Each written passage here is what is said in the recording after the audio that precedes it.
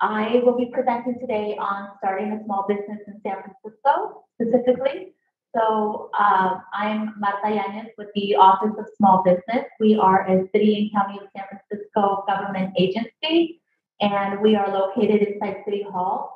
We're really set up to help people who want to start a business in San Francisco specifically. Um, being that we are a city and county of San Francisco government agency, we are really able to assist you with the local San Francisco specific requirements. Um, we like to consider ourselves the first place for you to come to get information on starting a small business in the city. Or we also um, assist people who already have businesses and operating in San Francisco with whatever their needs are, whether they are looking to expand and grow, hire employees, um, need loans, financing, seeking business programs. We like to consider ourselves the first place that all um, people should come to or contact uh, with all things small business in San Francisco. I did uh, prepare a presentation, which I will share in a moment, but just to kind of give you a little bit more background, which isn't included in the slides, um, our office was created uh, back in 2008, I believe, um, and it was created out of a need for uh, the city to provide assistance and resources to small businesses. At the time, the city was passing local laws that were going to ultimately impact small businesses that operate in San Francisco. Uh, many uh, having to do with employees and having employees. So if you are a small business that will have employees in San Francisco, you need to be aware that there are um, some employer mandates that are um, actually were unique originally when they uh, were implemented back in 2008 to San Francisco. Since then, the state and the federal government have adopted similar laws. Um, but at the time, um, the city was really putting a lot on the backs of small businesses. And so there was an idea to create an office and assistance center um, to serve small businesses. Small businesses. So we define small business as less than 100 employees. So really, that makes up over, I would say, 90% of our business community in San Francisco so it's small by our de- by that definition. Um, and so again, at the time back in 2008, the city was getting ready to pass um, the paid sick leave ordinance. So before the state uh, created a paid sick leave ordinance, the city was proposing one, and that requires that if you have just even one employee, that you're uh, required to provide paid time off to that employee in case they're sick or need to stay home with a, a sick child, etc. Um, at the time, there was also another proposal, um, the well before Obamacare, the city was already at the time also discussing um, a mandate or a law to require employers to provide health coverage to their employees, and that was going to apply once you have 20 or more employees. Um, and then the minimum wage in San Francisco has always been higher than the nation's minimum wage. So again, if you are someone who's opening up a business in San Francisco, particularly if you're going to have employees, uh, there was the um, belief at that time that we needed a place for small businesses to come and get assistance, uh, find out about programs, et cetera. So that's kind of how our office was created back in 2008. We are located inside City Hall. So I think now I will um, go ahead and start sharing my screen. I will I will say that um, this presentation is packed with lots of information. Um, if you take anything away from this presentation and PowerPoint, definitely take down our contact information because we uh, want you to contact us. Again, this is a lot of information that I'm going to cover today. So um, feel free to, if it's too much or it goes too fast, um, definitely just follow up with us uh, by calling our main line or my contact info is on the presentation slides as well, my direct number, my email. Feel free to stay in touch with us. We like to make ourselves really uh, accessible and available to you. So do not hesitate to reach out after this or at any point um, going forward. So with that, I will start sharing my screen. Um, and then again, we'll take questions at the end. So hopefully you guys can all see my slide deck Yes. here. Yes. Um, starting a business in San Francisco, Small Business Week 2023, presented by the San Francisco Office of Small Business and myself, Marta Yanez. So this is just a little bit of information about us and who we are. Again, We are San Francisco City Government Agency. We're under the Office of Economic and Workforce Development of the city, and we're also overseen by the San Francisco Small Business Commission. Uh, the San Francisco Small Business Commission, just a little bit about them. They are a seven-member body. They are appointed by um, these folks that serve on the commission. They are either small business uh, owners themselves or somehow work with small businesses here in the city. They are appointed by the mayor and the board of supervisors, and they meet regularly at City Hall to review um, policy and law um, that might ultimately impact small businesses that operate here. So, like back in 2008, when the city was getting prepared to pass the paid sick leave ordinance and the healthcare security ordinance and raising the minimum wage, all of those are decisions that are being made at City Hall. And ultimately, if you're going to be a business that operates in San Francisco, we want to make sure that you are engaged in those conversations or know that you can be um, engaged in those conversations, so you can tune in to our commission meetings. You can uh, find that information about when the commission meets on our website, and I'll share our website with you later. Um, you can see the agendas and kind of see what's being discussed and determine whether it's something that you want to participate in that conversation. You can uh, participate in those conversations by either, again, attending the meetings, um, calling in, emailing, sending letters, um, however way you want to connect with commission. Their information is on our website, and I do encourage you to at least um, review and, and look at our agenda to see what's being discussed so you can be engaged. Uh, we are located inside City Hall, San Francisco. Um, we're on the first floor within the tax office website, but we're totally separate from that. So um, the idea is that people usually know that they need to come and, and register or do something at City Hall. So let's put us here at City Hall where we can also serve the people that might otherwise be coming into City Hall to register or pay their tax, etc. Uh, we also have now dedicated permit specialists staff over at the permit center. Um, and these uh, permit specialists over at 49 South Van um, they will help with any kind of permitting needs. So if you are opening up a business that's going to require any particular type of permitting, whether it's building construction permitting, for doing alterations, remodeling, um, for establishing the use, uh, health permits if you're a cafe or restaurant. Uh, our dedicated permit specialists over at the permit center will uh, are there to work with you and to help you through that process because it can be um, a tricky and sometimes uh, convoluted process. So now we have dedicated permit specialists there, and um, there's going to be a slide to show you how you can connect with both of our teams here at City Hall and over at the Permit Center. We, again, like to consider ourselves the city's central point for all things small business. Um, we provide customized one-to-one business assistance, and I'll go over that a little bit more, but basically, we really kind of sit down with you when you come in, um, or when we talk, we'll get after, you know, kind of at what stage you're at with what you're doing, what is it that you're trying to do, what type of business are you trying to open, um, and then we will work from there to either guide you to additional resources or assistance, um, or to kind of lay out for you uh, the steps in the order uh, that you need to take to get registered, to get the proper permits, etc. So it's really customized to what you're doing and kind of like at what stage you're at with what you're doing.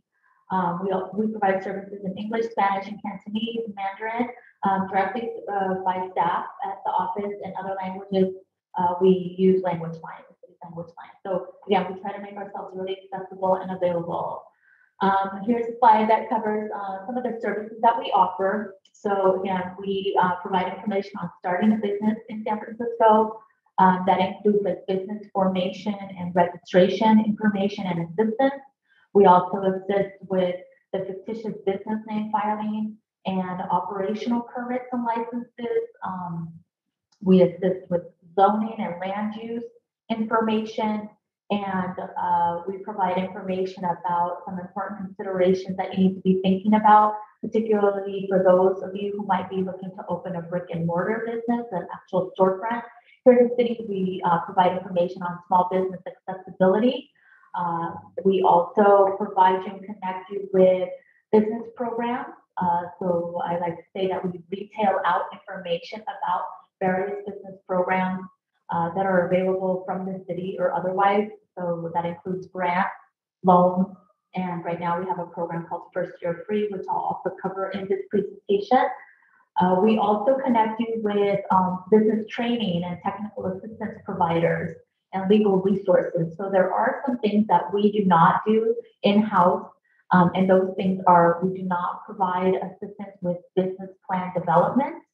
Uh, we don't provide any kind of workshops or trainings ourselves, but rather we rely on our partner organizations, which there are several of them, and we'll have a slide um, that will show you all of our partner organizations at the end. Um, but so again, business planning, we do not assist with. We're also not lawyers nor tax professionals, so we cannot um, advise you or provide you legal advice. Um, so if you're needing someone to help review a lease, we would refer you out for that to our legal resources. Um, so those are the main things that we don't do. But otherwise, again, we like to be the first place that you come and then we can guide you. Uh, we also provide some general information on how to become a city vendor and um, getting certified as a local business enterprise, LBE certification. And then again, we also provide information on some of those labor laws, um, including workplace posters. Um, this is a slide on how and where you can contact us. This slide is also at the very end of my presentation. There's a lot of information here. The main thing is you can go to our website, which is right there on the left-hand side, sf.gov forward slash OSB and you can see our different divisions, um, us at City Hall and our permit center team.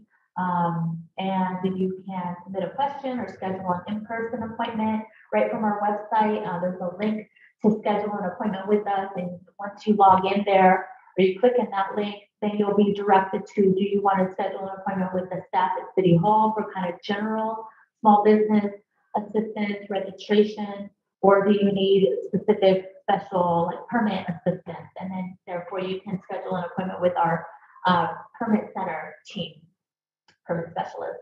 Um, so that's that. Then this slide is really just designed to give you a quick overview of um, the steps that you need to be considering and the order uh, in which you would do these um, when you're thinking of starting a business here in San Francisco. So one of the first things that we really try to push people to do is to take some business classes. Um, go and try to work on developing a business plan around your business idea.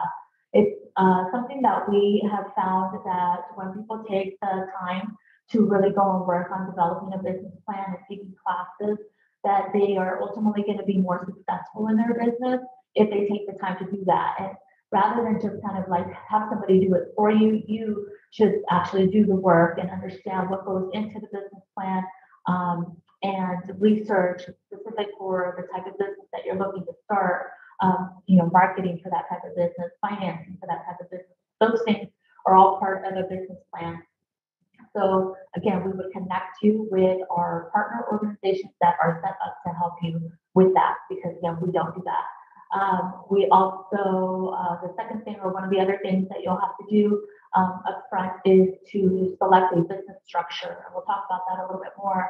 Um, also think about securing financing um, and filing your articles of organization if you're going to think about incorporating either an LLC or a corporation. You need, you would then need to obtain your employer identification number and then register with San Francisco and then file a fictitious name. So this is kind of laid out in the order that you would do things depending on how you uh, ultimately structure your business, which we'll cover a little bit more again. Um, and then looking at uh, obtaining operational permits and licenses, if applicable, not all not all types of businesses will have additional operational permits and licenses. Um, and we'll talk about that again. And then making sure that you stay compliant, filing your taxes and uh, renewing your registrations, etc. We'll also talk about that a little bit more.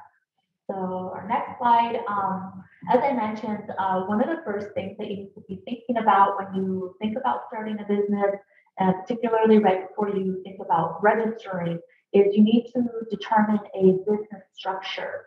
So um, you might have heard of LLCs, limited liability companies, corporations, sole proprietor, general partnership. Um, here on the right, you will see a, a, comparison table of the different types of, these are like the most common types of business structures that we encounter and characteristics for each of them. Um, there's also resources here on the left-hand side on how you can uh, choose the best business structure for your particular type of business. It is something that we do encourage that you uh, consult with either a business lawyer and or a tax professional like a CPA, uh, because ultimately um, this decision can, you know, make a difference in terms of how you file your taxes um, and where you need to begin to register. So um, generally, uh, the more risk involved in the business that you're getting into, and the more um, that you have to lose. So, if, for example, if you have assets like a home, for example, and the business that you're getting into is, is very risky, then you may not want to consider the sole proprietorship. You might want to consider the two on the right, which is the small corporation or the limited liability company. Both of those provide a separation between you and your business um, so that you're not personally liable. That's the main difference between the sole proprietorship general partnership and the corporations and LLCs. Um, however, that's not always necessary. I always like to tell people not all businesses are created the same. And what might work for one business doesn't mean that that's necessary for your business. We get a lot of people that come into our office. It's particularly right now um, because uh, there is a, a, fee waiver for creating a corporation and an LLC at the moment. Um, or we get a lot of people who say, oh, my friend has an LLC, I want to form an LLC, or somebody told me to create an LLC. Um, but when we start talking to them a little bit, we determine or we find out that really what they're doing is there's not a lot of risk involved and they really have nothing to lose. And maybe those types of entities are not necessary at the stage because they're just getting started. Um, what I will say is, again, we don't provide legal or tax advice. So this is, pretty much the extent of the conversation that we would have with you. If you were to come in and weren't sure, uh, we would suggest that you go and get some of that consultation. And again, the legal services for entrepreneurs um, or these lawyers, uh, these free legal, they're free, is what I want to say. So um, legal services for entrepreneurs provides free legal uh, assistance if you qualify based on income. So what I would encourage you to do is to visit their website. Um, we can share these slides at the end later. And so these slides, you should be able to click and it'll take you to their website. Otherwise, if you just Google legal services for entrepreneurs or on the internet, do a search, you should come to their website. They're also going to be listed on the last slide or the second to the last slide with their contact information. The SF Bar has a lawyer referral service. For $35, they provide 30 minutes with the lawyer. And sometimes that's enough time to kind of make this determination. You can also get some additional information on SBA.gov um, and San Francisco Public Library, fourth floor, I believe is their small business office. They have this kind of information and you can do a lot of research there. But um, ultimately, yes, this is something that you want to research. Depends again on your type of business and your specific financial situation.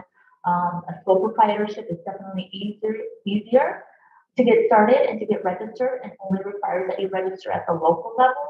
Whereas an LLC, limited liability company, or S corporation or corporation, all of those um, you need to think of these, this entity, the LLC and the corporation, almost like a separate legal entity, separate from yourself, kind of almost like a person. You might have actually um, have heard of corporations referred to as people. I do like to kind of put it that way because it's easier to kind of grasp. But um, basically, it's going to be a separate person, separate from you. Um, and because of that, it has to be formed. So you, uh, you do that by filing with the California Secretary of State. You create this separate entity and add its own legal name. And similar to how we individuals have our own legal name, and then we can have a social security number, these entities um, will also request a tax number to identify them for tax purposes. So um, there is an order. Um, I think now I will go ahead and, and go to the next slide, which um, there's uh, our checklist. So if you were to come in to our office, we would sit down with you and we would pull out this checklist and we will kind of go over it with you based on our discussion with you. If you um, come in and you've told us, you know, you've already consulted with a lawyer or you've already done your research and you have determined that you want to form an LLC or a corporation, then we would identify that the first step um, on the checklist for you is to create your entity if you haven't done so already. Um, and I say that because there are services, we see a lot of people come in who have already paid a company online to uh, create their LLC or their corporation. Um, so if you've done that, then we'll kind of, you know, discuss that with you. Uh, you might already have some of these things and then we'll proceed to the next step. But if you have not, then your first step would be to uh, form that entity. Um, again, think of it as another person. So you're going to create that person by filing what we call articles of organization. That's for the LLC or articles of incorporation. That's for the corporation. Um, you do that online through the California Secretary of State website, and I'll have uh, more slides on that later. Uh, but essentially, that's where you begin on this checklist. Once you've done that, and like I mentioned before, these entities, um, because they're like a person, will need to have their, their own tax number. So then the next step and the next box on the checklist on the left, uh, which actually ends up being like the third box, um, tax ID EIN number. So the next step would be to obtain that EIN number, a tax number for your corporation or LLC. And that is something that you do by um, going online to the IRS website and requesting that EIN number. This is generally free and generally obtained right away online. Once you have that, um, then um, anyone who operates in San Francisco, whether they are an individual proprietor, a general partnership, two people or more, or these uh, corporations or LLCs, when they operate in San Francisco, generally seven or more days, you are required to be registered with San Francisco as a business. So that would be the next step, the San Francisco business registration. And we'll have a slide on that process as well.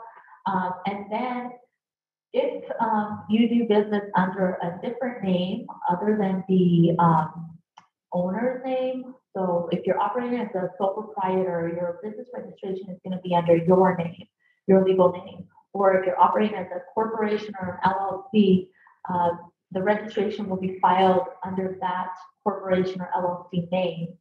But uh, you can also choose to do business under a different name. So if I'm operating as a sole proprietor and I'm going to have a flower shop and I want the shop name to be Sunshine Flowers or something like that. That's a name that's different than my legal name. In that case, it's considered to be fictitious, not my legal name. Same is true if I've created an LLC and I've called my LLC maybe like Yanez LLC or um, Flowers Are Us LLC.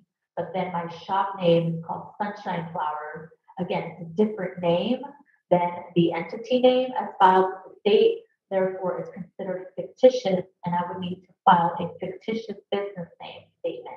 This is also known as a DBA, doing business as.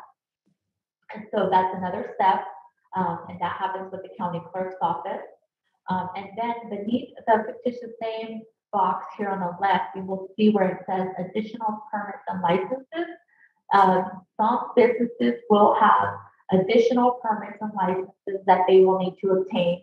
These are um, operational permits usually that um, regulate the type of business activity that is being conducted. Um, again, not all businesses have additional operational permits, uh, but one clear example that I like to use a lot is a cafe or any type of food business. If you're selling food, then there is some sort of a health permit that you would need either from our local health department or the state health department.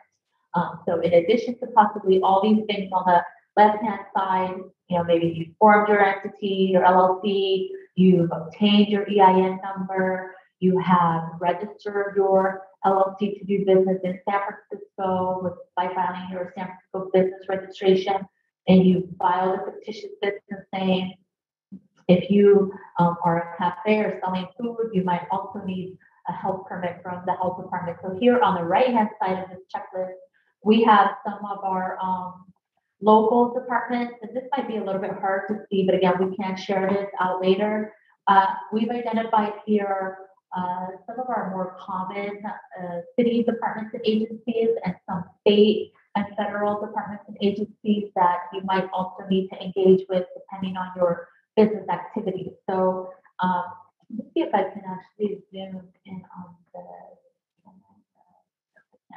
Um, but so again, in that example of the cafe, we have here the San Francisco Health Department, if you can see it. Um, you would need to additionally obtain a permit from them. And then because you are selling goods under the state column, you would also need a California um, seller's permit. It's called seller's permit, and that's through the California Department of Tax and Fee Administration. Um, so again, what we do, part of what we do is we would sit down with you when you come in, we would uh, pull out the checklist, we would have a conversation with you about what it is that you're trying to do, um, and we would go through the checklist and mark it up for you uh, based on that discussion conversation. So that is to kind of give you a sense of what we do. Uh, so going forward, the next will really get into um, the steps in the process to organizing um, a corporation or an LLC if you're going that route. Uh, but again, ultimately something you'll want to discuss with a lawyer or a tax professional, both. Uh, we also, uh, one thing I will say, we don't have a referral for a tax professional, unfortunately. Um, so that might be something that you might need to find on your own. Ideally, you would want to talk to like a CPA, uh, as opposed to, we have a lot of folks who sometimes will use a notary public to file their taxes. We encourage you to really talk to a, a tax professional, CPA, um, when you are deciding on your business structure. And um, so this is a slide that kind of provides you a brief overview of um, creating uh, or organizing a LLC or a corporation. So on the left, you'll have the limited liability company. Uh, LLCs also, this is something that um, we cannot assist you with. So, but something that you should know. Uh, LLCs are should have something called an LLC operating agreement. This is kind of like a document that um, that says how the LLC will be managed and governed.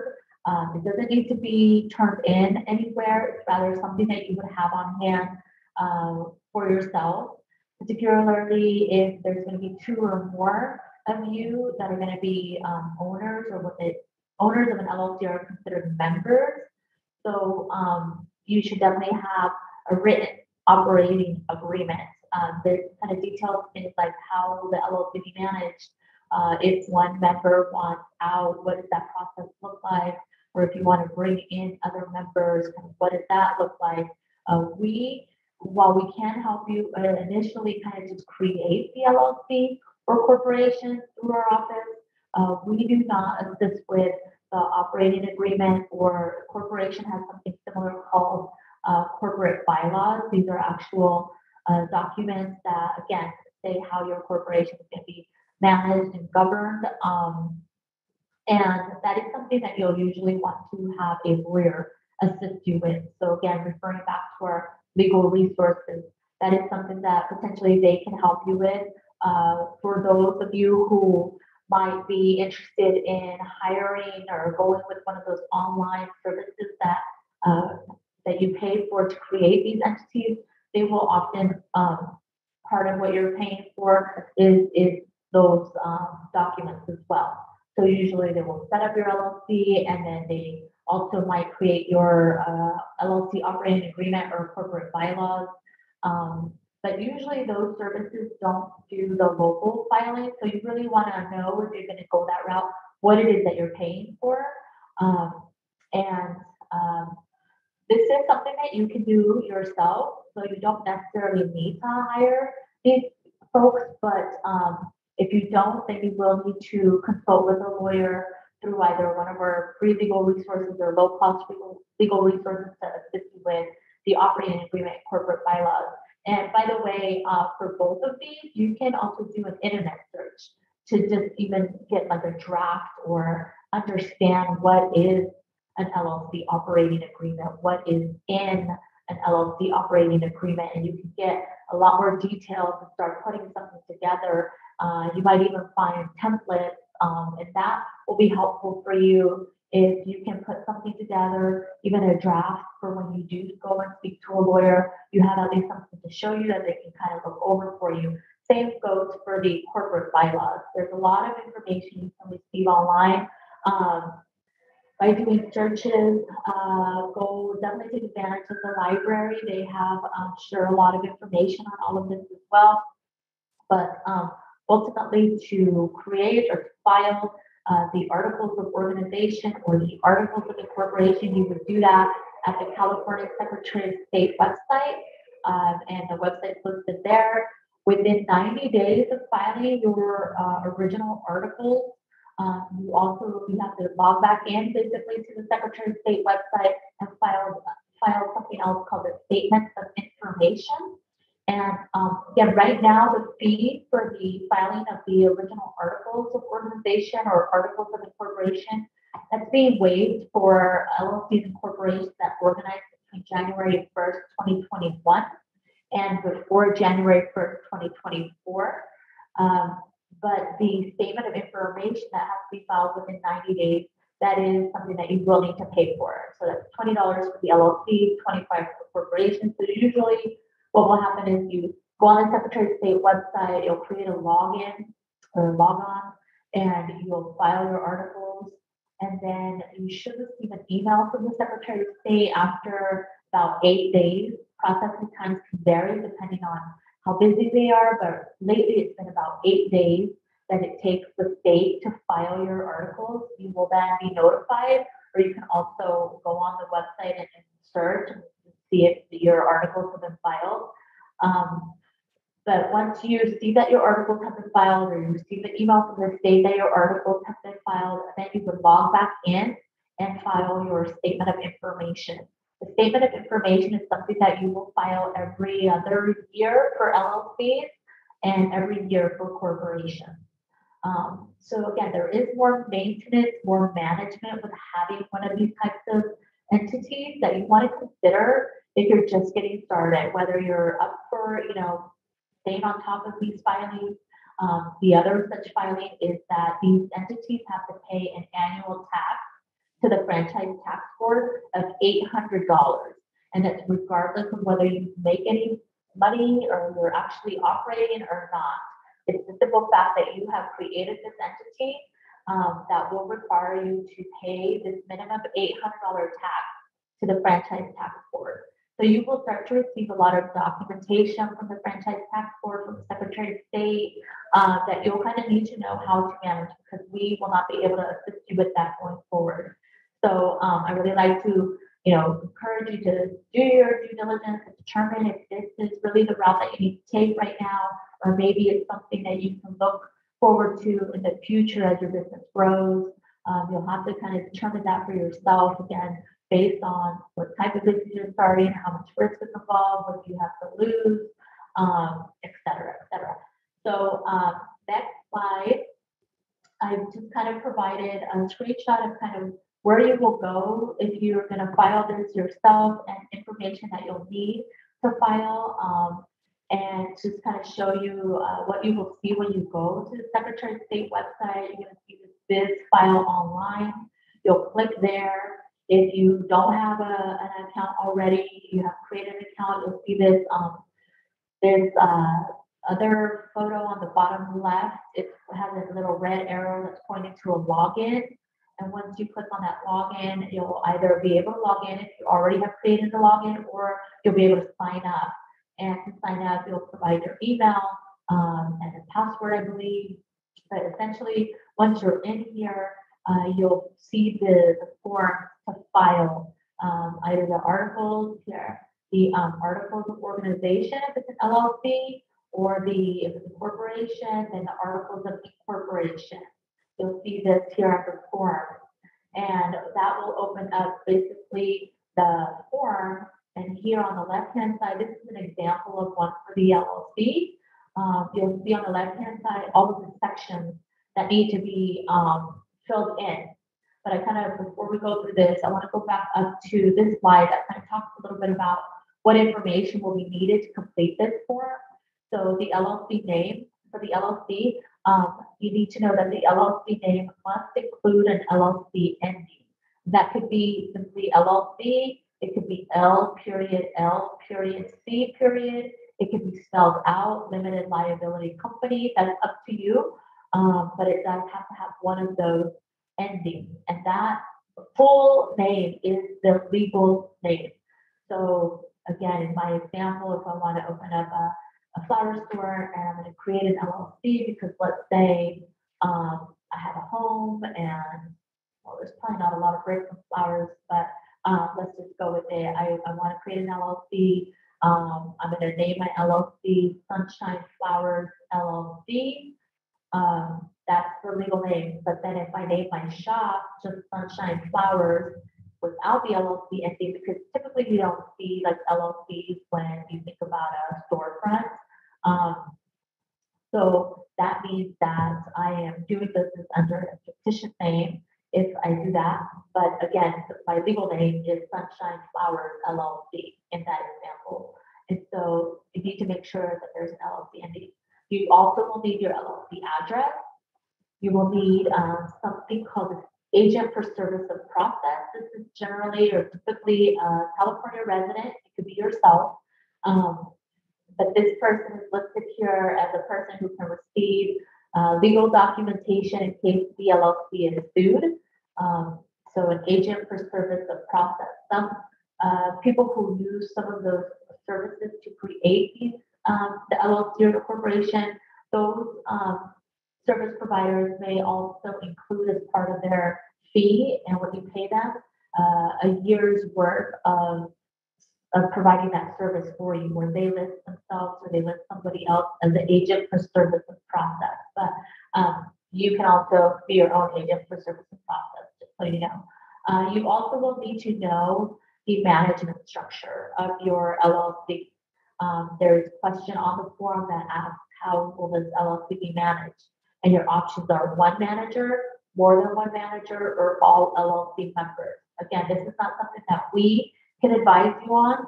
So this is something that you'll want to research upfront. Um, again, by consulting with lawyers or doing your research um, at the library or, on, or online.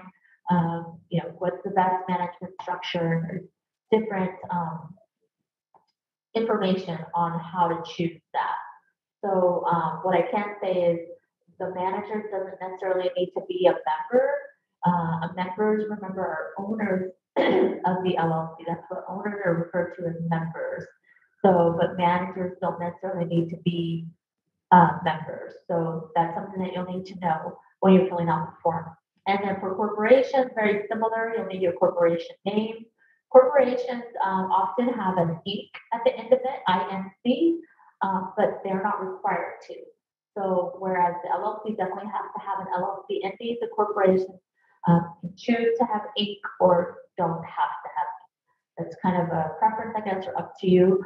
Um, also, one thing I forgot to mention is before you go about forming your LLC, we do recommend that you first search um, for the name and make sure that you're not uh, filling out this form or a name that already exists. So on the same um, website, the Secretary of State website, uh, where you saw, uh, like here, you'll look on the left-hand side, you'll see there's a search button. If you click on that search button, you'll be brought to a, a page where you can uh, input the name that you are for your LLC or corporation, and then um, click enter, and you'll get either a list of um, things that are very similar, or you will get no results. So you definitely do not want to register the same name. And I usually suggest stay away from anything that's too similar, especially if it's like the same type of business, which you may or may not know here, but you might need to Google it, um, that business to kind of see what type of line, uh, line of work they're in. But yeah, you want to stay away from anything that's, exactly the same or too similar, especially if it's the same type of business activities and especially if it's in the same area. Um, but generally, but definitely the Secretary of State, if you file something um, that's the same or really, really similar, they may reject your um, your filing. So definitely search before you start going about these filings. Um, but kind of back to the information needed for a corporation, so the corporate name, the corporate address, the agent for service and process, all of that's the same. But then uh, the last thing is uh, also something that we won't be able to uh, assist you with, but you'll need to know the total number of shares the corporation is authorized to issue. So this is something, again, you'll want to consult with a business lawyer or a tax professional and see if they can help you make that determination. Um, I'm not actually sure how you make that determination, but um, you can also try to research it online. Um, but that is something that you will need to know at the moment of filling out these forms. So I'm going to scroll forward. Um, this is uh, basically the, the form. There's this privacy warning. It basically says that none of this information is private. So there's that public database. Anybody can go to the Secretary of State website, search for a name, and find out who um, who has registered it. Uh, so you'll want to keep that in mind. Uh, then there's this submitter information on the left-hand side, bottom left. That's just who's submitting this form, usually yourself. Um, there's this notice about professional services. So there's some types of businesses, uh, I think like architects and lawyers who cannot um, organize as an LLC. Again, remember this example, this slide is for LLC. Um, then the LLC name, sorry, here on the bottom right, LLC name, and it does not say here, unfortunately, that it needs to have the LLC ending. Oh no, it does, I think. Let's see, the proposed name will appear on the record of California Secretary of State exactly as entered, including the LLC identifier. So I think if you fail to put the LLC identifier, it'll be red and it won't let you go forward. So um, it needs to have that LLC ending, like I mentioned before. Uh, the next uh, slides are initial street address of principal office of LLC, initial mailing address of LLC, and an agent for service of process. Um, here on the top right is where you need to select your management structure. Um, and then that's pretty much it. So you'll you'll submit, you'll pay, or there's no fee right now. Um, and then, like I said, you're supposed to receive an email from the Secretary of State when your article has been filed. Uh, we've been getting people who have filed and um, have not received an email, so they call us back. Uh, and so what you can do is if it's been a week and you haven't received anything, you can also log in to the Secretary of State website and see for yourself um, by searching under the name of your LLC. And if it comes up, if it's been filed, you'll see it there. Um, and you can then go ahead and log in and submit the statement of information, which is that next uh, step. So then the next slide has to do with obtaining an employer identification number, which again, if you think back to our checklist, the order that you would do things in, if you're going to go the route of an LLC or corporation, the next step after your entity has been organized or created essentially is to solicit this EIN number, known as an employer identification number, also referred to as a federal employer identification number, FEIN. This is obtained from the IRS website directly. You can get this for free. Um, we've seen people sometimes pay for this. Uh, sometimes what may happen is you go on the IRS website, you may end up clicking on something where you get redirected somewhere else. So if at the end you're being charged for this, um, just know that you probably have ended up on some other site and you can just go right back onto irs.gov website and try it again. So uh, the best thing to do here is when you're on irs.gov website is um, in the search field, type in EIN. Hopefully you can see that. Uh, then search, then you'll get this second picture here uh, that will say employer ID numbers, and there's one option that says apply for employer identification number online. I've that, you'll click there. Once you click there, you'll see this other um, picture or screen, and you'll want to click where it says apply online now. And then for this, the screenshots you're going to see are the, the sections of um, this form essentially are, are here. So one of the first things that you're going to be asked is what type of legal structure is applying for the EIN. So you will select accordingly. Uh, one thing that I will say is sole proprietors that do not have employees do not need an EIN. You can operate just with your social. However, um, sometimes if you are uh, doing work like as a freelance writer or as a freelance uh, independent contractor where someone is needing to pay you and they're asking to fill out a W-9 form, I think is what it's called, uh, where you're having to provide your tax number on there. For sole proprietors, rather than putting your social, uh, especially if you're doing work for multiple people where you might need to fill out multiple uh, these forms, and rather than have your social security number out there, uh, you can opt to get an EIN number from the IRS, even though technically it's not necessary, but that is a way that you can try to protect your social. Um, and so then you would select the appropriate type of structure.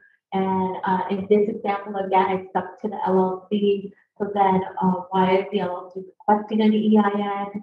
Um, started a new business, etc. That's usually the one that we check. Check. Um, and let's see the next step there, the next screen. Tell us more about the members of the LLC. So LLCs can be a one member, just yourself, which is called a single member LLC, or it can be a multi-member LLC, two or more members. Um, when, when it's a single member LLC for tax purposes, it gets defaulted and treated like a sole proprietor. So there's going to be, I think, a question here that asks how you want to be treated for tax purposes.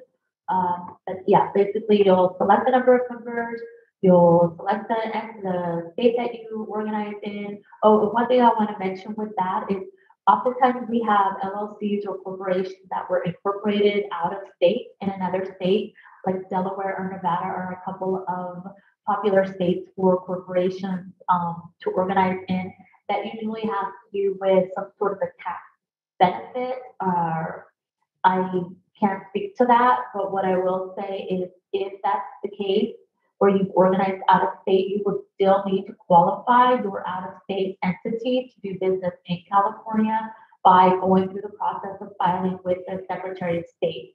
Um, the EIN number is something that you probably already would have because that's a federal number. And so you wouldn't need to get a new EIN in that case but you would need to uh, file paperwork with the California Secretary of State, and you're still going to be subject to our minimum $800 tax annually. So um, that's something that you'll want to discuss again with a tax professional or a lawyer to help you determine whether it makes sense to file out of state or not. What I understand, and again, I'm not a lawyer nor a tax professional, is that generally our larger corporations, those that do um, business throughout the U.S., are the ones that may file in um, another state, like Delaware, Oregon, Nevada. Uh, so these are like your Twitters of the world, Facebook, Chevron, larger corporations. But that's not to say that it's not a best choice for you, but definitely something that you'll want to consider or talk to again a tax professional or a lawyer. Um, so going forward, who is a responsible party? of the LLC, you will select the individual. The next step, or the next question, you selected individual, please tell us about the responsible party. And so if it's just myself, or even if it's me and another um, member, I would put one person has to be a responsible party. So you put one of your uh, information there with your social, and then um, it'll ask where the LLC is physically located, um, and then it will ask you to tell them more about your LLC. This is where you would insert the name of your LLC as filed with the Secretary of State, again, including that LLC entity. And then it also is going to ask you if you have a trade name or if you're doing business under a different name. Um, you'll want to enter that there. And also, before you do that, there's, we recommend that you search um, for the name availability of any name that you're using, whether it's your LLC name or a trade name, DBA, fictitious name, all of those basically mean the same thing. Fictitious name, DBA, trade name, that all means the same thing. And we certainly encourage you to search in a number of sources before you uh, decide uh, to move forward with any particular name. And uh, that's going to be another screen, I think, um, all the websites where you can search. Um, but then again, state territory or articles have been filed and then your uh, start date, the month that you filed. Um, over here, additional information is what does your business or organization do? So there's a list of business um, types here on the left. If you don't clearly see your type in one of those, there is this um, option of other at the very bottom. And if you choose other, I think there's another screen that I may have not included here where you get to indicate what it is. And so I think there's like services is another um, option under other, and you can actually even type in um, what type of service. So I think I missed a couple screens, but um, then uh, here tell us more about the LLC. Uh, there's a few questions. Typically, these don't apply to a lot of businesses, but it all depends what you're doing. So uh, you can always click on those links to read a little bit more about what those mean and answer accordingly. And then you're going to get to this almost last step where you're going to be asked how you want to receive your EIN letter. And we recommend that you choose that first option, receive letter online, because uh, it will give you the PDF basically right there and you can print out or save it, download it um, versus receiving it by mail, which may take longer. Uh, one thing that I also want to go back to for this responsible party, if it's um, someone who does not have a social security number, maybe you have the ITIN number, that's the individual taxpayer ID number, it likely will not allow you to obtain this EIN through this online form. Um, you could try it, but usually we see that people with ITINs get an error message saying that um, they can't get it. And in that case, they would have to submit a, a form, a paper form via fax to the IRS, and it can take a little longer. Um, sometimes taking up even up to two months. So be mindful of that. But otherwise, you'll you should then receive your EIN letter um, and you'll have that number. And so then after you have that number, if you think back on our checklist in the order that we do things, um, your next step is to register with San Francisco. So this is information about our San Francisco business registration. Um, so San Francisco's business tax regulations code generally requires that every person or entity engaging in business within the city for any part of seven or more days in a year must register um, and you generally have 15 days from the date that you begin to come in and get registered. Um, so a lot of times you get people ask like, how quickly can I start once I register? You can start right away and you'll actually, um, yeah, they give you that 15 window period, 15 day window period to, to come in and get registered. Uh, anything dated, uh, so the application is going to have a question about the start date in San Francisco. And if you backdate it more than 15 days, uh, you will be penalized because you should have registered within 15 days. Um, so keep that in mind. The city, we operate on a fiscal calendar, so our year runs from July 1st through June 30th. So we not we are right now towards the end of our year. If you are registering at this time, you um, will pay for the current registration year, and you'll also be billed for the upcoming year that begins July 1st. So to the extent that you can wait to begin your business um, until July 1st, you might want to consider that. Otherwise, know that you will be paying for two years, current year and the upcoming year. Um, so I think that's what the third bullet point says. The business registration is generally valid for one year. However, for businesses registering after the beginning of the fiscal year and even up to like June 30th, if you were to come in and fill out that registration on June 30th, you're going to be charged for a whole year um, for that one day. So keep that in mind we get a lot of people who come in register now or um, or maybe they did the registration themselves but then uh, now are receiving notices to renew. So our renewal is always in May and it has to be renewed by the last day of May. Um, so yeah, sometimes people get confused with that. They'll say like, oh, so I have to pay like every two months or every three months, depending on when they did it. And we have to tell them, no, it's just that you came in later in the year. And so it wasn't valid for very long. But now, once you renew in May, it'll be valid for a full year. And you won't have to renew until next May. Uh, fees are based on the start date.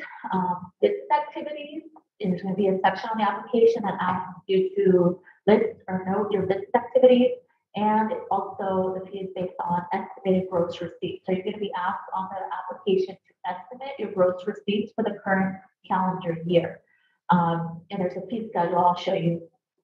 Um, a business registration is not a business permit or a license.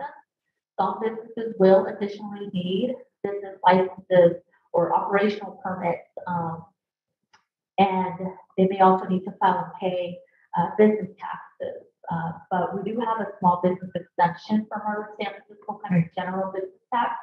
So this, what we're talking about right now is the San Francisco business registration.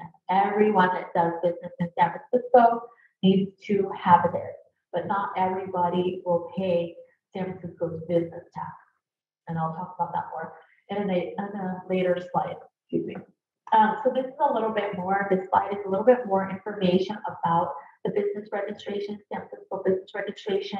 Basically, if any of these items are true on the left-hand side, um, that is who is required to register. We get a lot of questions about this often. Um, so it's generally, again, anyone doing business here, uh, or another example I like to give is if there's a company that um, is not based here necessarily, maybe they're based in LA or New York, but if they have employees working remotely from their residence for that company in San Francisco, then that company uh, that's based outside of San Francisco has what we call nexus in San Francisco and therefore would need to register with us as well. And that would be uh, like a W-2 employee that might be working for that company here, which we're seeing, you know, obviously with the pandemic, we saw a lot more of that, people working remotely, um, any place really. So um, keep that in mind that this is uh, another, yeah, basically a list of who needs to be registered here. And then on the right-hand side is the fee schedule. So you'll see the two different fee schedules. Uh, there's only three types of businesses that will fall under Schedule B. Those are retail, wholesale, and something called certain services. So retail, wholesale, and certain services. And you'll see when we see the screenshots of the application, um, the list and where you might fall into. Um, and also if, if you do select multiple types of business activities and they fall in both Schedule A and Schedule B, the fee will default to the higher amount. And so again, uh, you will have to estimate your gross receipts. And so if you're estimating gross receipts for anywhere between zero and a hundred thousand, and your fee is the minimum amount, which is either fifty-four or forty-four plus a four dollar state fee. And that's how the fee is determined. Um, the fee schedule has gone up slightly for the new year. That will begin July first. There's another, uh, slide that shows that. But here's another slide that talks about the business registration. And when you go to this website that's highlighted here in yellow, that's where you would find the new business registration application.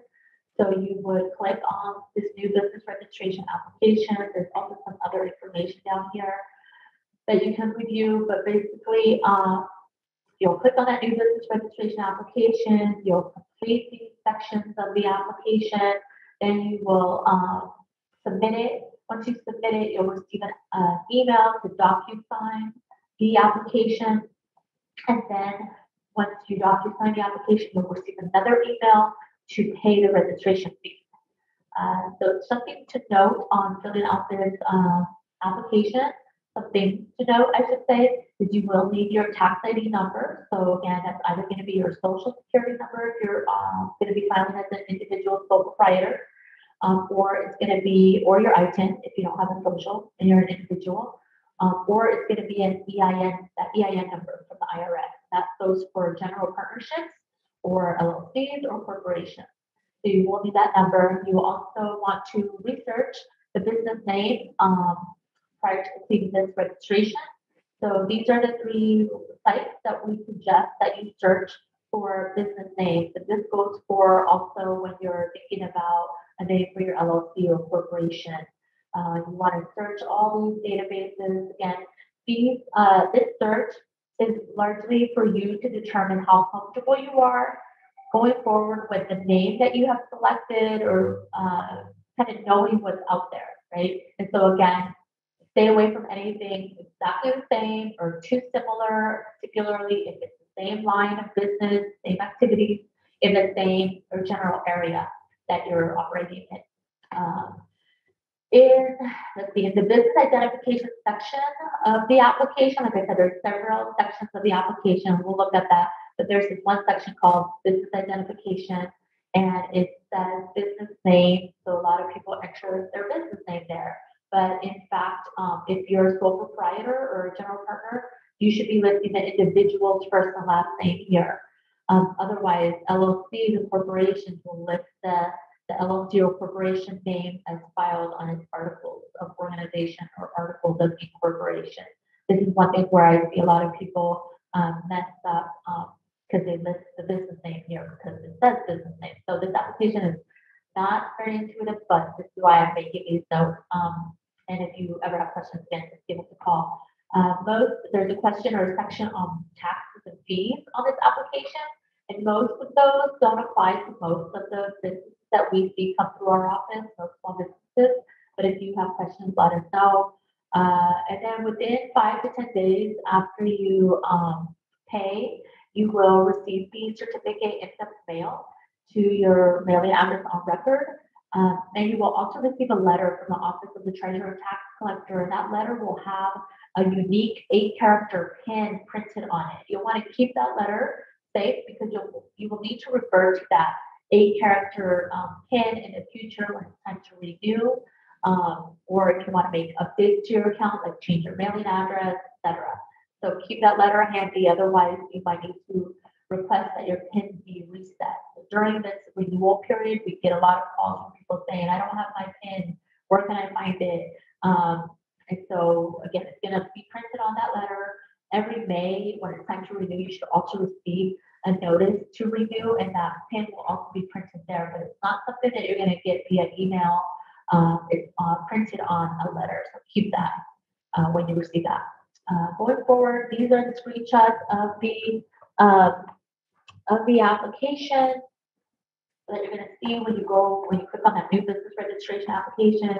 The first question again, and this happens um, with most applications that you're going to be filling out uh, that have to do with the business. One of the first things you're going to be asked is what's the structure, who's applying. And so in this case, what is the organization type of this business? And you'll see this drop down menu. These are the options that you have to choose from. So um, you'll either you'll select the appropriate one we get oftentimes people who select LLC, but they haven't actually formed their LLC yet. So you want to make sure you don't do that. You want to make sure that you are selecting however you are going to be um, operating. So if uh, I think in this example, I also stuck to LLC. So on the right top hand side, you'll see that business identification section that I was talking about, um, where it says business name. And this is it says right under that as shown on your income tax return. So again, because you need to think of LLC as a separate person or entity that's going to be filing its own tax return, uh, it would be that name complete with that LLC identifier at the end. And to the right of that, the tax ID number will be that EIN that the LLC obtained uh, from the IRS for the LLC. Um, in contrast, if it's a sole proprietor, under business name, and if you're doing sole proprietorship in that where parentheses where it says as shown on your tax the tax return, when it's a sole proprietor, you will actually see it says sole proprietor, enter first and last name in red letters because oftentimes people are just putting their business name here. So sole proprietors here will enter their first and last name and their social to the right. Um, then business start date in San Francisco. Again, if that's more than 15 days past um, backdated, then the uh, know that you will be charged the late filing penalty. Uh, your telephone number, your business email address, you confirm your business email address. There's a question here: Are you establishing this business to be a vendor with the city? Mostly this is no, so it's defaulted to no. That's not to say you cannot later you want to sell to the city, but most people are not setting this up because they're doing that. And in fact, if you say yes, I think it'll pop up another box where you could have provide your supplier number. Um, and then it, uh, there was a time when the tax office was noticing sending notices to people that weren't registered that they needed to maybe get registered. So this next question, if you received a letter from the office, treasurer tax collector, instructing you to register, there was a correspondence number. So this is left blank for a lot of you folks. Um, the tax office does that from time to time, but, um, otherwise it's left blank. A business mailing address, the next section. You might, um, when you put in your mailing address or, yeah, mailing address, you might receive a pop-up, um, or like red text that kind of indicates like maybe the, the address is not correct. Usually, again, just double check it. If it looks correct, you can click continue and it should allow you to move forward. So, um, so then the next section, oh yeah, here is an example of this. We are unable to validate your mailing address against the US Postal Service, but again, if I've reviewed it and it all looks good, um, click continue and it should allow you to move forward. Then the next step is change of ownership. Um, is this a change of ownership from an existing business? Yes or no? And then owner's details. So in the case of an LLC, you're going to go ahead and just copy from business identification page. It's going to copy the LLC name and your EIN. Uh, but otherwise, so here, if you read it, says for owners that are general partnerships not registered with the Secretary of State, list the full names of all partners. Um, for a trust, list the trustee as the owner for all other owners that are entities, provide the entity name. So that's why you would just copy. But if it's a sole proprietor or a partnership, you would put the individual's um, information here again, which might be the same as the copy from identification page. Owner's address, um, and then over here, it's, when it's an LLC, you'll get this uh, box on the bottom left. It says business officers. So you'll enter in your the officers or members. Uh, in this case, like I said, LLC owners are called members. So I filled this out with my name. My title is member. You might say CEO. Depends how you uh, noted it when you registered with the state. Uh, my phone number, my email, add officer. So you have to click on where it says add officer to actually add me uh, or add yourself. And then if there's multiple, you'll click on add officer again.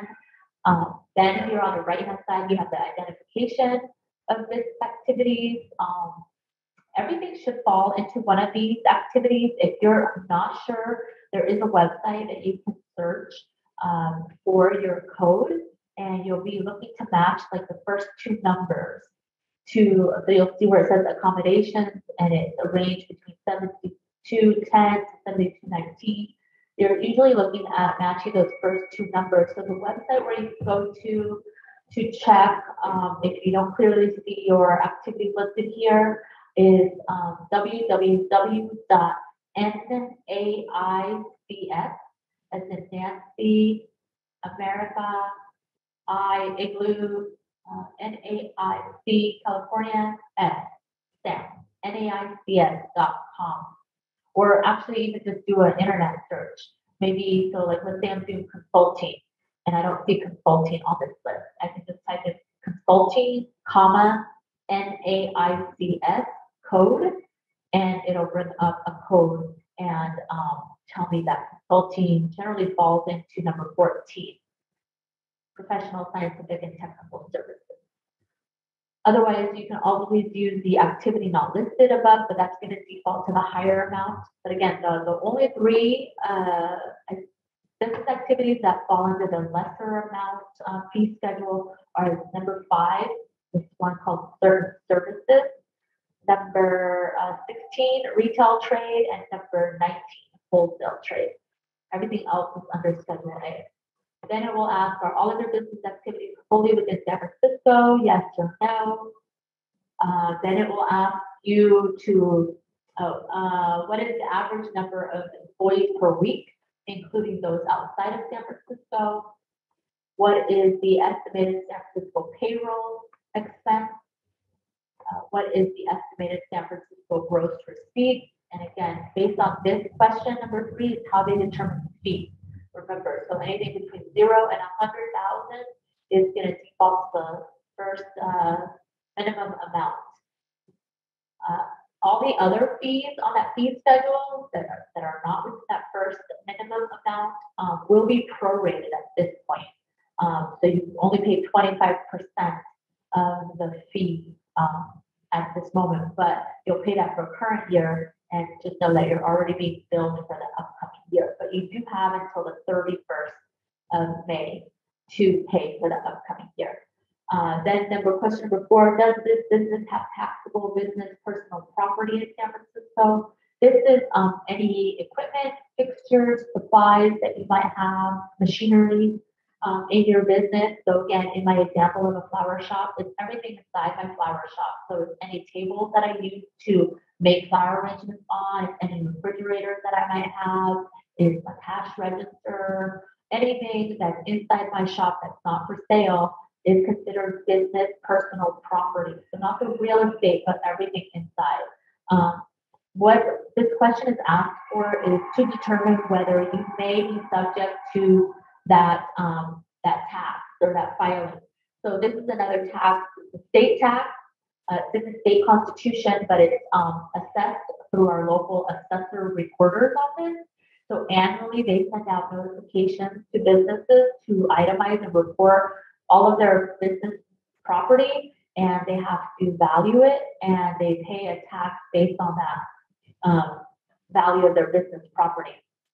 So this initial question here is to determine whether the, whether you might be receiving that, uh, additional paperwork to report and file business personal property tax. So when you say yes, here, the idea is that the tax office is supposed to share this information with the assessor's office, and the assessor's office then know to mail you information about that filing.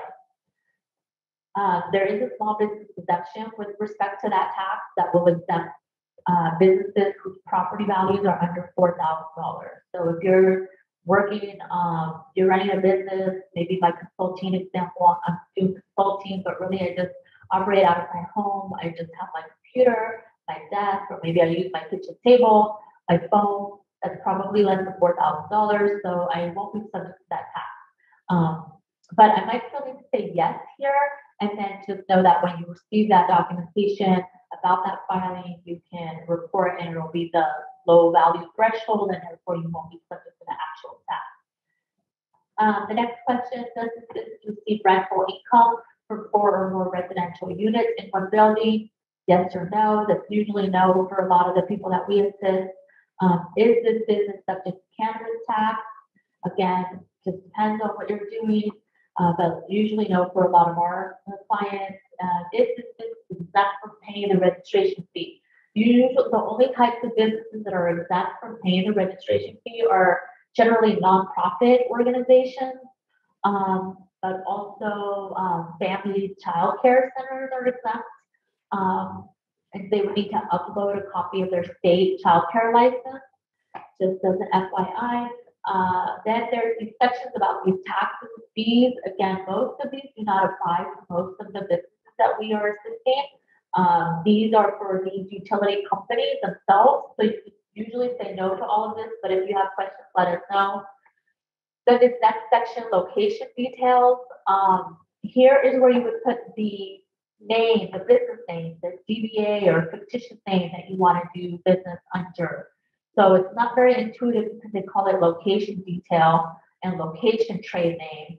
But um, this is where you would put your DBA, doing business as, also known as fictitious business name, FBN, trade name, etc.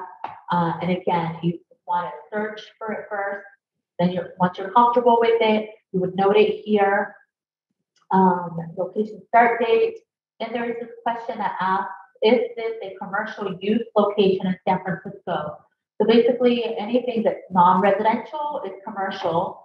Um, and the reason that they're asking this right now is that we do have a program um, to waive businesses, new businesses, um, or new locations of existing businesses that are commercial, their first year fees. So including their first year registration fee, but also if any of them would have additional permits that they might need to obtain from the city, whether it's a health permit or a building permit for remodeling, those um, fees are all waived for commercial uses in San Francisco, um, for commercial locations. So that's why they're asking that. Location address, this is the address where the business is actually located. Um, so for many who might operate from home, that might be your home address. For those of you that will be opening up a storefront or something like that, it would be that address that you would put here. This is another question about some other taxes and fees.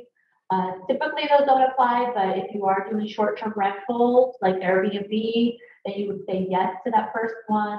Or if you're a parking lot operator or a, um, or a hotel operator, then you might say yes to the transient or to the parking. If you, um, are selling cigarettes, you might say yes to that.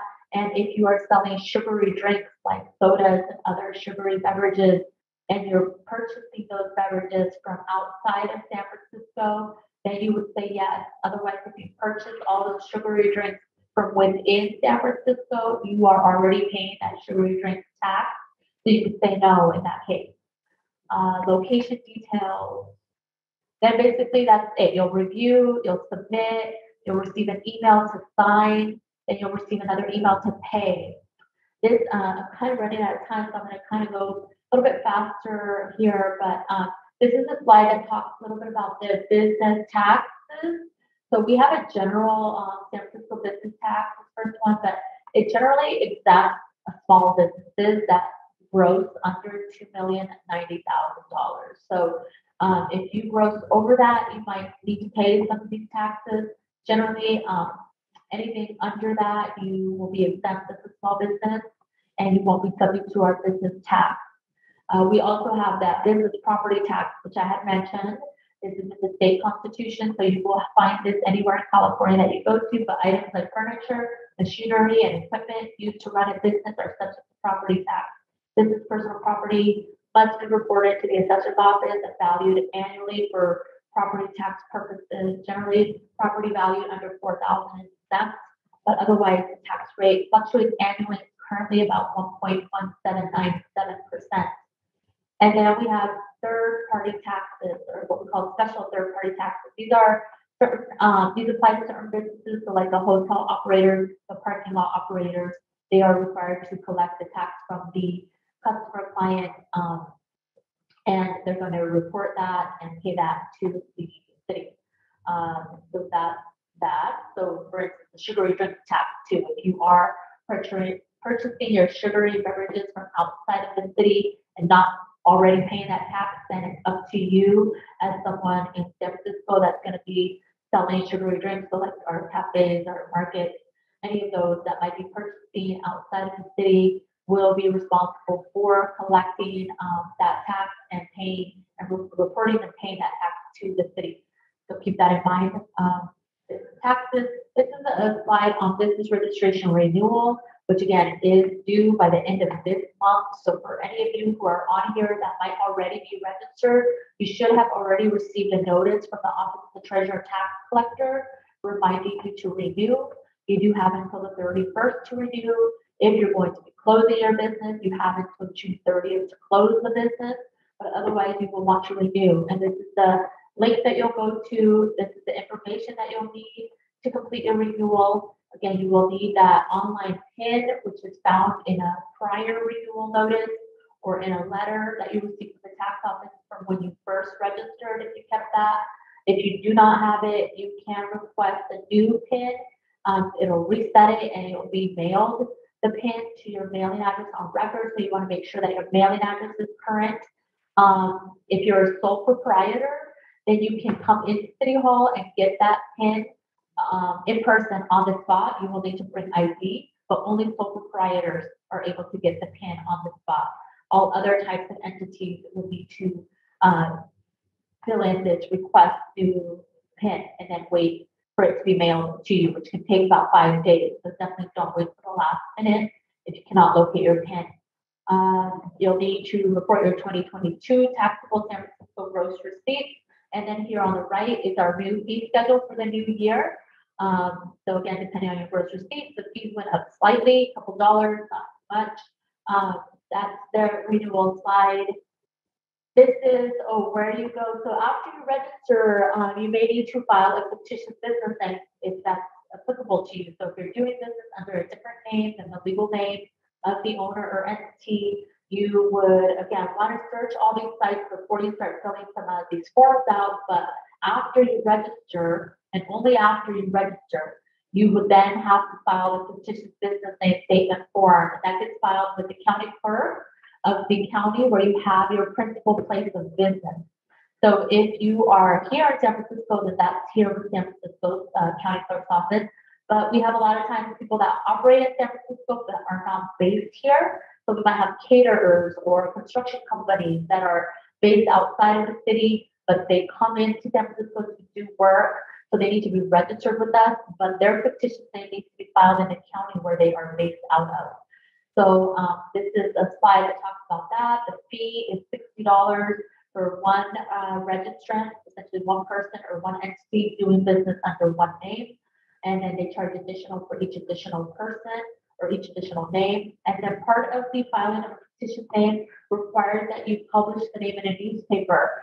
And so um, that has to be published in the paper one day a week for four consecutive weeks. At the end of the fourth week, you're going to file proof back with the county clerk's office that that was done. Some of the publications do that for you. You'll want to double check. This is a slide that shows where you search for the name, what you're going to see, what it, what it looks like when you go to these sites to search. Um, sorry, I'm rushing through this. We're running out of time. Uh, fictitious business name, this is what the form looks like. This has to be done in person or by mail. Uh, so best to do in person is uh, automatic.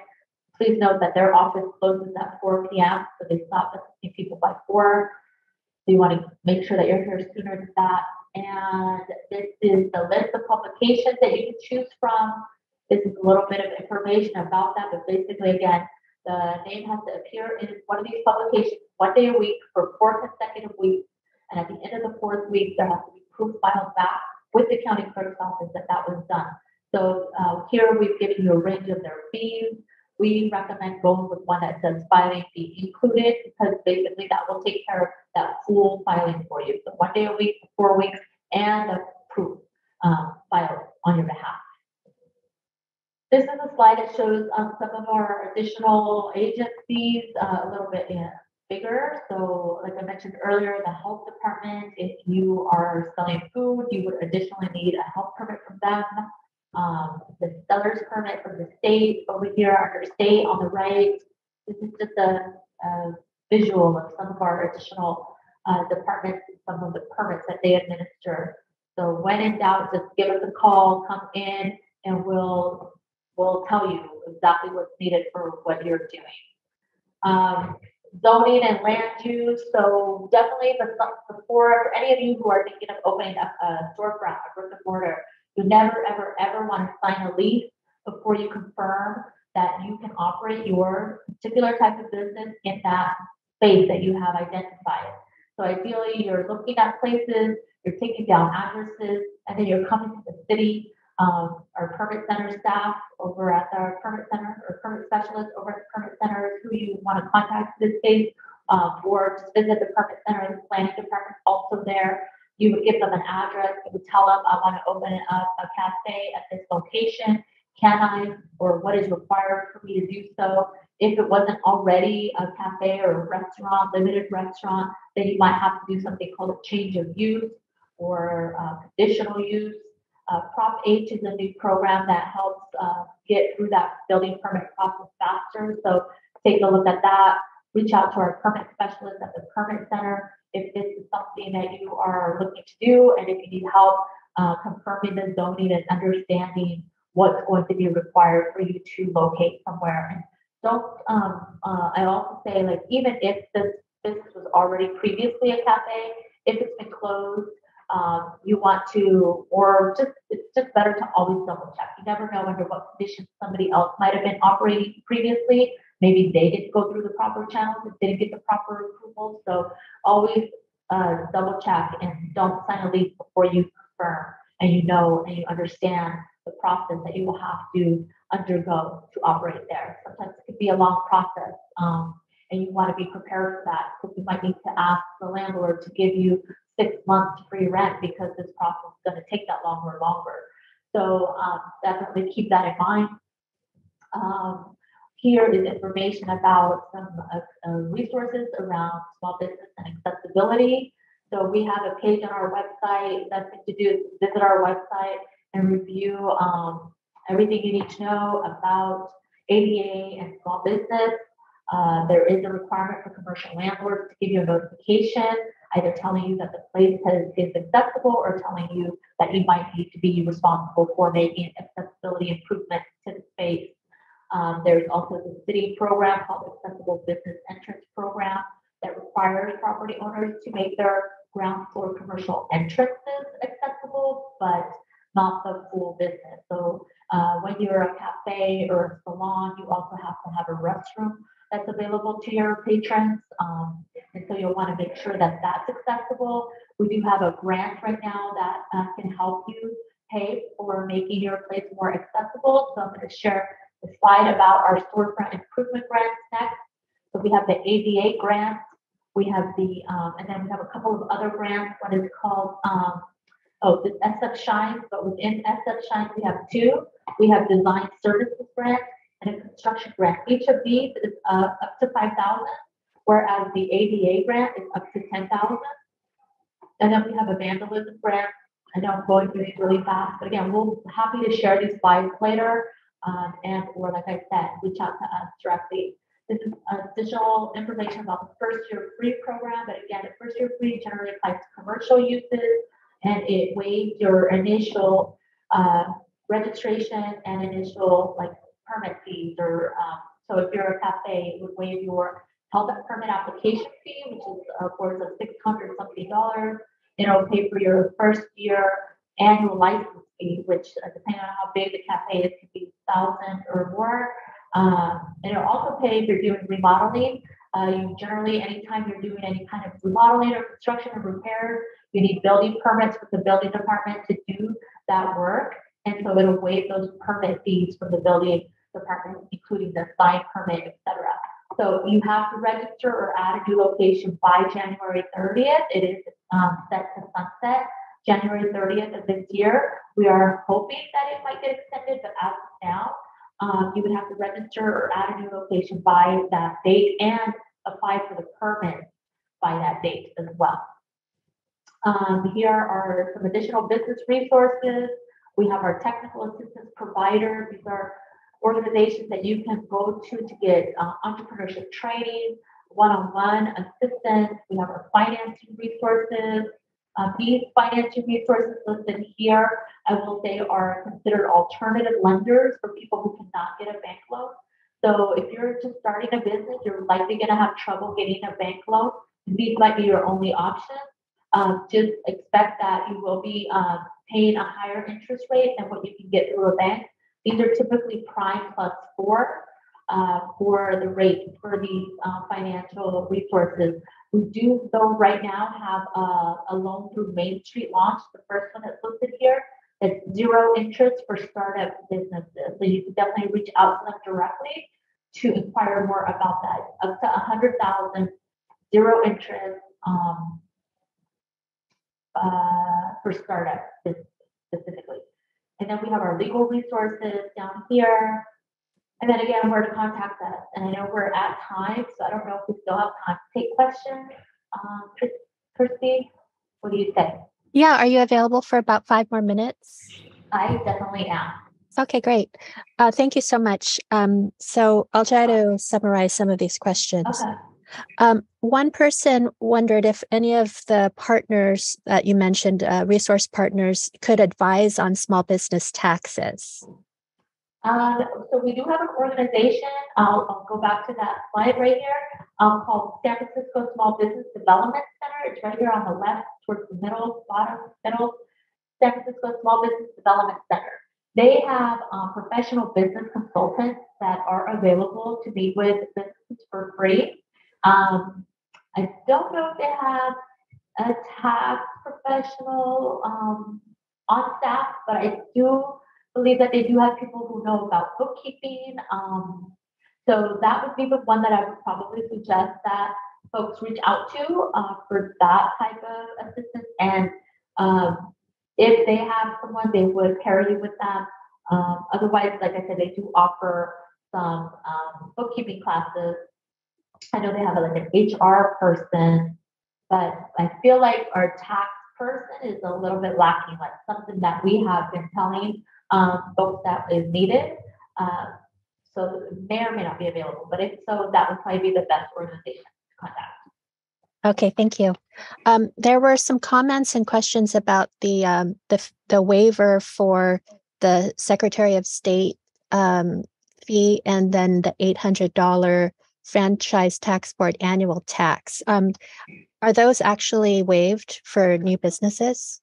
So yes, for new businesses that register between now and uh, before January 1st of 2024, your initial filing for your LLC incorporation is waived. So rather than paying the $70 for the LLC filing or $100 for the corporation, that will be waived right now.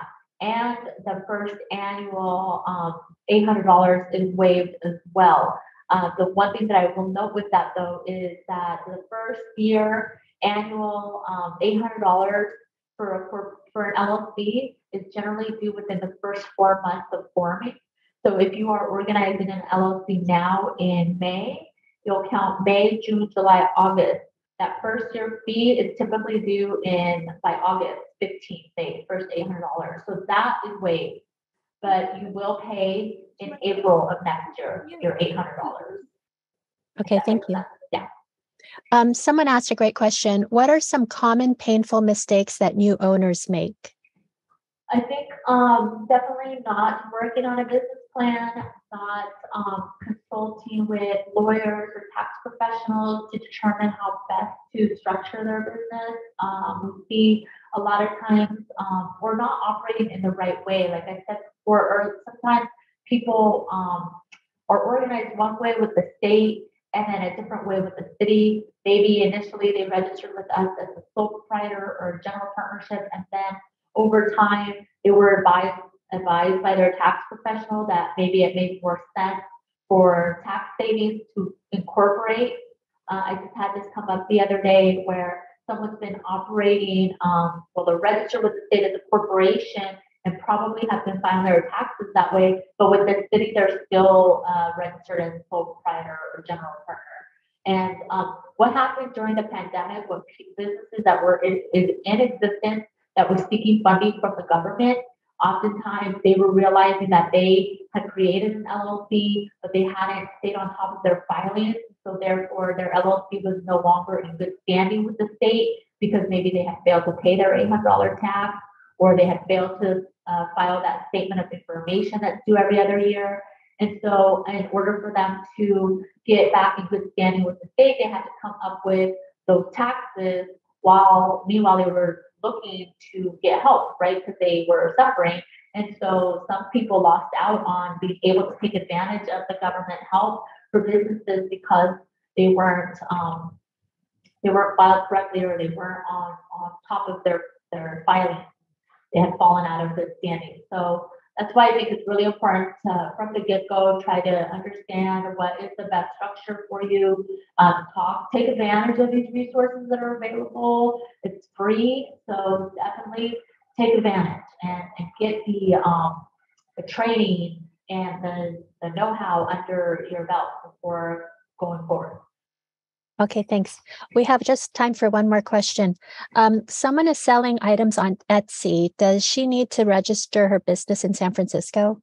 Yeah, so if that person is running their business on Etsy and they are located in San Francisco, running that business from their computer um, at their home in San Francisco, then yes, that uh, that is considered having nexus in San Francisco and therefore uh, would need to be registered. Okay, great. Well, I don't want to keep you any longer, Martha. Your presentation was so great, it was super comprehensive. Um, yeah, I see that there are a lot of questions. I don't know if it's possible to get um, a, like the, the chat, and I can maybe try to reach out to some folks um, later. Is sure. doable? Yeah, of course. Or, um, or if you prefer, also whoever has asked a question, um, you can also email me your question to my email, so this is our contact, um, but my email is at the very front. Let me just share that screen again one more time. Right here down at the bottom, martha.yanez at sfgov.org. Um, email is going to be best because we have been uh, really busy And we are, we have limited staff. There's only like three of us and we're still working remotely two days out of the week. So if you are a calling, definitely leave a message. We are checking that and trying to get back to people, if not same day, next day. Uh, but oftentimes we're at the counter with clients. So if we're not picking up, it's because of that. Um, so email works great. I'm often emailing people back late. Um, so that I would just want to say that, yeah, be patient with us, but we do try to get back to people by the next day. Thank you for offering that. That's great. Um, so yeah, I'm going to include uh, Martha's slides and the recording in the follow-up email. And please do contact the Office of Small Business and also the library if you need any more help or have, have more questions. But I want to thank Martha so much for your time and expertise. Thank you. My pleasure. My pleasure. Thank you all. And I hope you have a great rest of Small Business Week. Yes, happy Small Business Week. Thank you so much.